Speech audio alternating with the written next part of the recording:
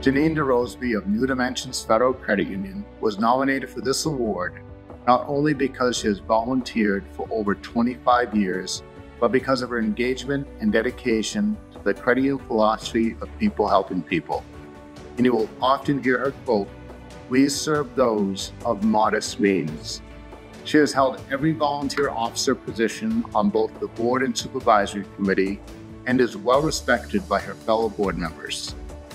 From hiring a new CEO, the challenges of a name change, an expanded charter, starting a new CUSO, and merger negotiations, Janine was instrumental in implementation of all these strategic initiatives.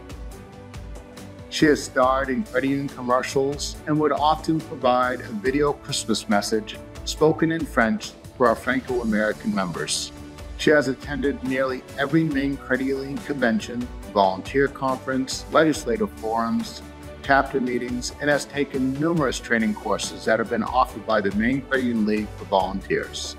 Janine is an advocate for credit unions on both the state and federal level, from attending Credit Union Day at the State House to Hike the Hill in DC, and has always responded to calls of action by sending letters to our elected officials.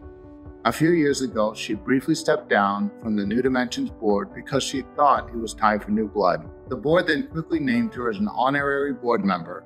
However, she quickly returned to temporarily fill a vacant board seat in which she continues to hold today. She continues to be a strong advocate for the member and she can always be counted on to speak her mind or kindly disagree with others by posing the question, Is that right?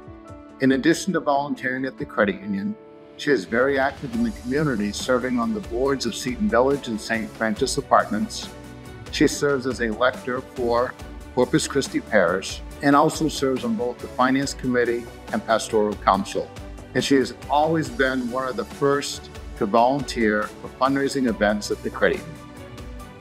Later this year, Janine will turn 90 years old, and she still is not retired as she continues to work the, as a bookkeeper for the Catholic Diocese of Maine and with several parishes in the area. As a young CEO, she helped me to grow both personally and professionally over the years, and for that, I am forever grateful. She is more than deserving of this award, and she certainly has gone above and beyond, and she truly embodies the ideal characteristics of what it means to be a credit union volunteer. Mrs. DeRoseby, congratulations on receiving the 2024 Outstanding Credit Union Volunteer Award.